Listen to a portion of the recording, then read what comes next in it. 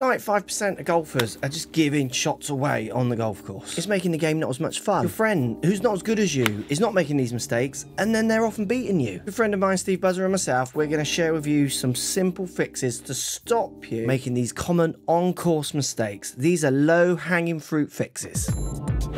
So the first one, we're going to miss short putts. Hopefully not many, but we're going to miss some. And when we do, we need to be able to handle the emotional roller coaster the golf's going to throw at us. Don't be this guy.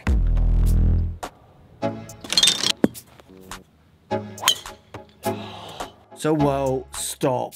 Let's breathe. Pre shot routine, going through some routine, even though it can be boring when you're playing well, even it can be boring to go through it each time. But having a system, an amount of practice swings, even when you're really flustered, maybe taking one more and slowing things down. This won't cancel out bad shots, but it won't make the emotional roller coaster win.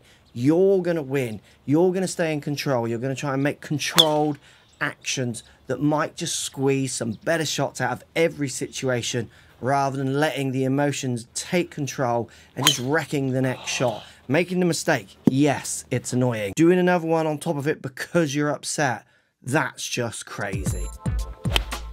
Next low hanging fruit is having the right clubs, learning the right patterns when playing into or downwind. In this example, we're going to look at into the wind shots. So this is 170, but it's into the breeze. Good skills to have. So I'm going to hit a chippy six. You're going to hit a seven. I mean, you are a bit longer than me with your irons, but having a bit more club hitting soft into the wind can be a skill that's useful, can't it? Um, especially if you're somebody that tends to overspin, maybe someone who loses the ball to the right. Overspinning ball plus the wind, disaster. Yeah, I got all of that. If it makes me think your shot's shot. Oh. See, it's drawing as well, so I'm working my shape in. So obviously choosing the club wisely is something that hopefully you're already starting to think about, but I think it's something you can think about more in hitting more clubs soft, those kind of ideas that might just push through the wind a little better. Other thing to work in again with my shot is that when you hit these different shots, so more club, remember to work that shape in. It might not always be the same shape that you game as a regular basis. And that's one of the huge mistakes I see amateurs make. They play the same aim or shot for their soft one, but that one tends to draw when they tend to hit other shots pretty straight, and then they wonder why they're always missing them on the left. Work those shapes in, learn to manage that wind, your scores are going to drop.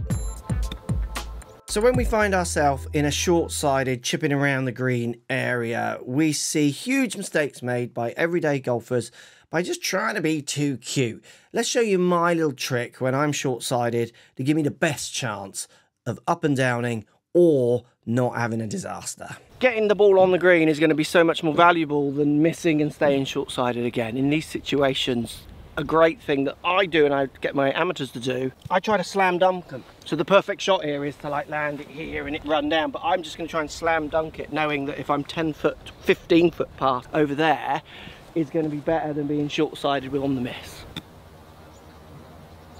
So really great result, but I actually landed that short, and that's often the problem. So what I'm doing is I'm picking a further on target the slam dunk, knowing that if I hit my short one, I'm gonna hit a miracle great shot, everyone's gonna think I'm brilliant. I'm actually, this is like my best scenario from an under hit shot.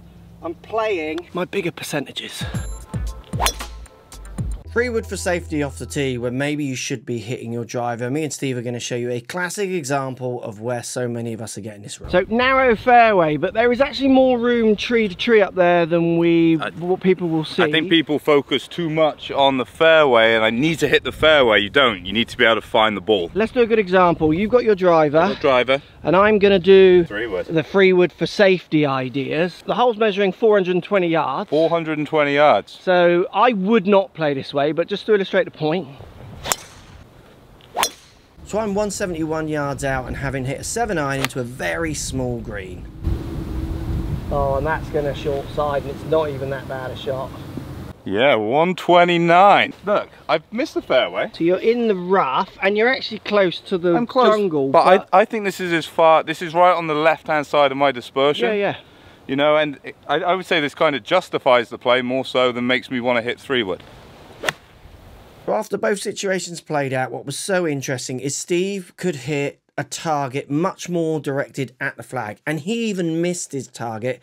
Arguably a bit more from where I missed my target, yet he still stayed on the green. I wasn't that far away from the hole, but because I was that little bit shorter, but to the right, hitting more club in, I just couldn't get away with that miss and I was short-sided and had no real shot. Leaving the tougher second shot just to make sure you hit that fairway when often there's more room than you think more spaces you can hit where you can keep that ball in play and have a third, uh, second or third shot into a green, depending on what hole it is, can be so much more beneficial than just laying back, leaving too much in because you want to hit that fairway. Let's talk about lies, specifically bad lies, and what you do and how you deal with them. So Steve, water on the left, horrible lie, you're about 130 out. I guess you're going to shift your target way right. So I'm going right, and this is a good example where I hit like a pretty good tee shot, so I feel like I've got unlucky, and I've got to put that to one side and yeah. go, look, let's play the situation. Got to now go over here, even, even with a wedge. Yeah. Um, if it was any more, we're probably going to be laying up. We were 200 yards out like amateurs are picking three woods from there. This is like a seven iron hack out, get back in play, isn't it? Oh, 100%. If you're hitting a three wood long iron, even a hybrid, people go, oh, hybrid will get through that. Yeah. It will not. Yeah, you need loft. But Let's for you, because eh? you can reach, you're going to use more shift of target. Yeah, and I'm going to put the ball back in the stance just to try and like gouge it out a bit.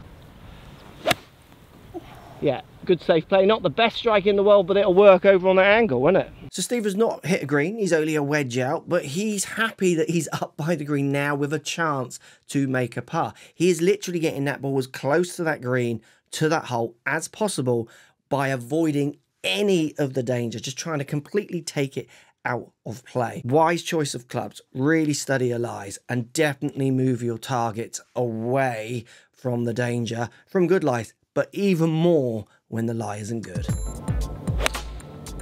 Coming up short is a problem for everyone. Yes. Even the likes of us. It happened to us once. so this is 154 middle, but it's 180 something to the back. So I have 9 iron. Yeah. But I was afraid of going long, but see, you've given me that longer number to the back. Makes and there's no way I'm hitting that club there, so I'm probably now going to come up short. I've got the exact same issue. I'm going 159 with my clubbing, where the 183 back measurement, I reckon this is much closer like a 170 club. I'm going up as well the thing is with doing that, Steve, isn't it, is that I'm stood there not, I'm thinking this is flying the green. You've got to just trust your numbers. Got to, got to trust it. And sometimes thinking back edge isn't the worst idea. Yeah. We don't want to play for our best shot. We want to play for like our average shot. Totally. So you're still not quite pin high. So I'm still a little short. But did, did, I hit it perfect? Was it a 10 out of 10? But I don't want to have to hit a 10 out of 10. Because yeah, we're not going to, Can think, we? if I was a club less, I then go down, I, I, take a bad bounce, it goes in the bunker. And you're short-sided. Short-sided, I start saying really angry things. Yeah, I got mine past the pin, but I had to absolutely rip it. That was my top yeah, end. That was a 10 out of 10. Yeah. That was a 7 out of 10. We're and both on the green. You're closer. 150, was it? 160? Yeah. We're not expecting a 2. We've taken all the trouble out. You know, we want our rounds to feel smooth. We don't want to, we don't want those big spikes of adrenaline because we're, you know, making silly mistakes. Yeah, we don't want to live on the edge of our seat, do we? And look, we're just making it simple. Let's talk recovery 101. We're all going to hit it in the cabbage, the garbage, the bundu, the boondocks, whatever we call it.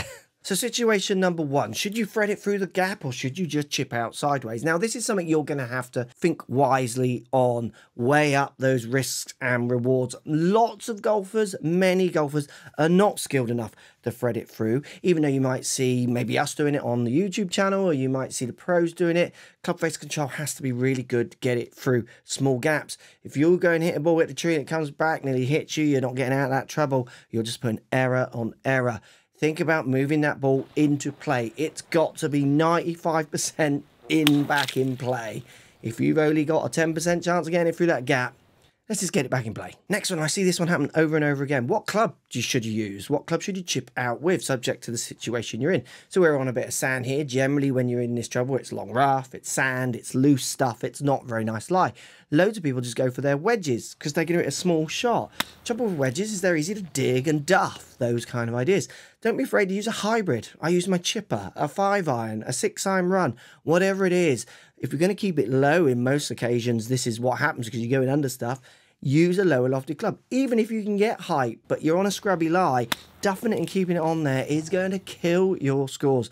Don't be afraid to mix those clubs up. And the last one, if you are chipping out with any kind of angle slightly forward, remember the further you go, the closer you get to that green, the easier the next shot will be. So lots of golfers, I see them just chip out, like they can see the ground in front of them, so they just chip out to that part where if you were to chip it 50 yards further on on the same angle, you might find that you're 30 or 40 yards closer to the green. And that will have an effect on your scores over time. The closer you get to that green with your next shot, the more chance you've got hitting that green and then getting up and down from there. Think wisely about your chip outs. Sometimes we're angry, the emotions are in play, and people are just bunting it back into the course.